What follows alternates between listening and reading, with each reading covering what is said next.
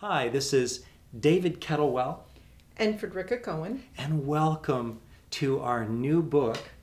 Love of Chromatic Harmonica Techniques and Advice from the World's Best. So that's love of this thing, which is a chromatic harmonica. Techniques and advice from the world's best. Now, this book weighs, what is it, a little bit north of two pounds? Yes. It's about an inch and a half thick. It's 678 pages long, half of which, 340 pages, are interviews with the world's top musicians from Asia, from Europe, from the United States, all over the place, talking about how they learned music. And then it also has a lot of information on how to play the instrument. Correct. It has things like how to do hand vibrato or lip vibrato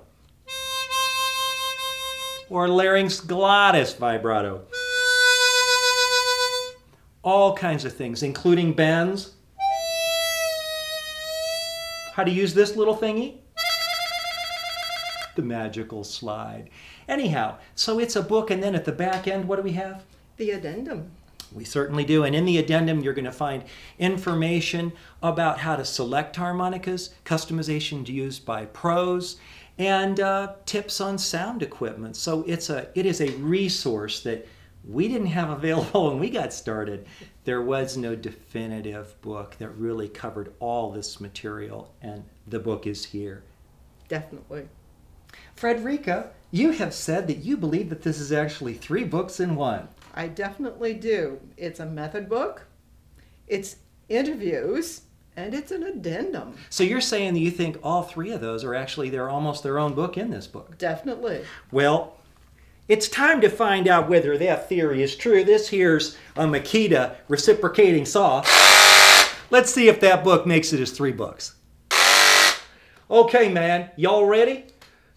Safety first, huh? Got them safety gloves on too. Here we go. First cut. Done. Second part of the book. Not that we alls recommend that y'all does this all the time, but you could. As Frederica says, it's three books in one. It's three books in one. Ooh! Dave, you can take the glasses off now. Safety first when working with power tools. I always thought that. All right, now here we have three books. Okay, now this one, this book's not too big. You couldn't knock somebody out with it. It doesn't weigh two pounds. 162 pages. This is how to play the instrument. So there's one book for you. Okay, now here, here is the second book. This is this book. Now this is big enough to whop you on the head pretty hard. This one is uh, 340 pages. These are all the interviews. All the interviews. So you could saw your book into three parts and you could carry around the interviews. Okay, and this, this little sweetheart here, this is the addendum, which is all kinds of secrets like, you know, how to customize your harp the way the pros do, and how to use uh, recording equipment. And there's a secret in there is the sound equipment that Toots Thielemans uses. We got that in there. Uh, so anyhow, anyhow, this is the third part. So you put these three books together. It was her theory that this was actually three books. Do you believe that you are vindicated? Of course I am. Total vindication.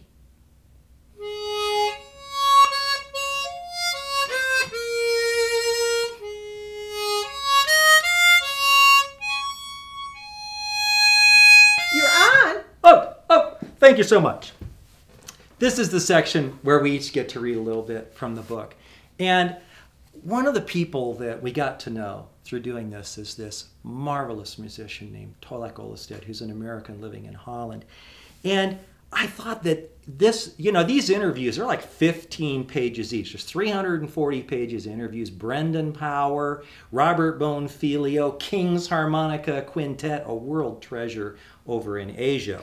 But anyhow, here's kind of some of the stuff that, that Tollak was sharing. The interviewer asks, What are some of the questions people come up to you with relating to chromatic harmonica playing? And he says, Tollak says, well, it's interesting. It's a lot of different questions. I guess what it always comes down to is that feeling on their part that there is this magical little world that those great musicians live in, and they know some secret about how they make that magical sound at the level they do. All their questions more or less boil down to how can you give me a tip or a little piece of information that will enable me to get there somehow? And then the interviewer says, the interviewer says, like, what's the secret? And then he says, people love that idea of like, there's a secret to it. But for me, it was the fact that no, there's not a secret per se, but there are elements, elements of music I don't hear expressed or talked about nearly enough. And then Tollak shares his philosophy. But I, uh, I thought I would, if you could, could you be so kind as to read a little bit from your chapter in the Reflections, where we have amateur musicians talking about their struggles with learning the, the instrument. So not only do we have the world's best players, but we also have people who, uh, Ray Navarrete, Graham Tufnell, Frederica Cohen, co-author of the book, who share their journey, which is so fun. So go ahead and read to us. Yeah, this is from my personal journey. I always wanted to play chromatic harmonica. When the chance came, I jumped at it. My challenge in learning chromatic harmonica was uh, taking what I already knew about music theory and musicality to my new instrument. This was not as easy as I thought it would be. There were several challenges most faced instrument choice, breath control, teacher selection, and reading and music. Whose advice do you follow on these challenges? And how does one learn each register octave on their harmonica? Instrument choice is crucial to your success as a beginner. It may very well determine if you stick with and or succeed with the instrument. Now, I just want to interject. 28 year music educator in the school system. You play more music than I have fingers and toes, or more instruments. You got like 50 of them around here. You can see some in the background. This is nothing compared to what's here. Okay, so you spent your whole life in music. Why did you want to play chromatic harmonica?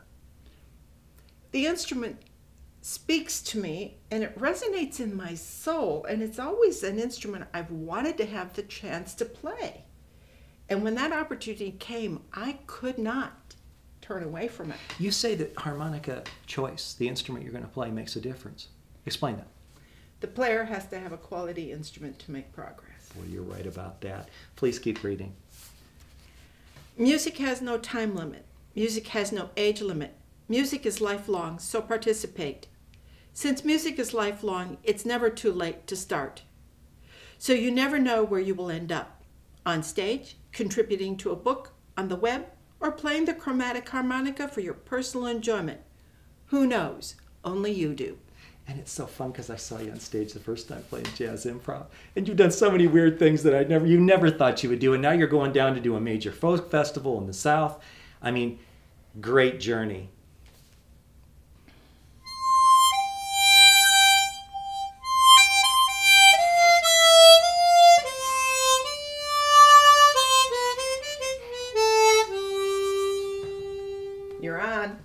Thank you so much. Thank you so much. In this part, we talk about our personal impressions on this journey, two year journey working on this book. Tell me, what are some of your personal impressions from the path? Well, this book started out about 125 pages and then okay. it just grew as it was method only. Then we went and decided to do some interviews. We started out with just a couple. Then we went to 4 mm-hmm. And then we just kept getting more. We closed the book, the interview section, more than once. And we ended up with well over 20. 27. 27. And in the beginning, there were none. And then there were two. So that, that's a fun one. I know that as far as personal impressions, for me, um, to have a chance to talk with so many world class players of chromatic harmonica. And I kind of expected that their methodology to learn the instrument would be the same, but it wasn't. I had people like Robert Bonfiglio, who's a master talent at classical playing, who has a 10 year study program of scales and interval work.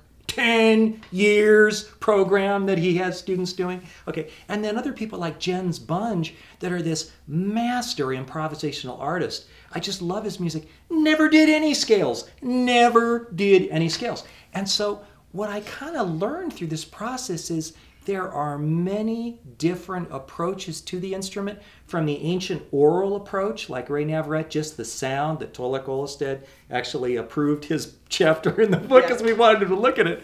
And then we have people like Robert Bonfiglio and then King's Harmonica Quintet, which, gosh, they could be playing orchestral instruments basically. They're so talented and so capable. So for me, it was just the multiplicity of paths, and that translates into freedom to you and us to learn the way that we want. So, once again, I'm David Kettlewell, And Frederica Cohen. co authors of the new book, Love of Chromatic Harmonica Techniques and Advice from the World's Best. Love of Chromatic Harmonica. Not like, love of Chromatic Harmonica. Techniques and advice from the world's best. They share everything they got with you. We shared what we had to give to. We hope you love the book.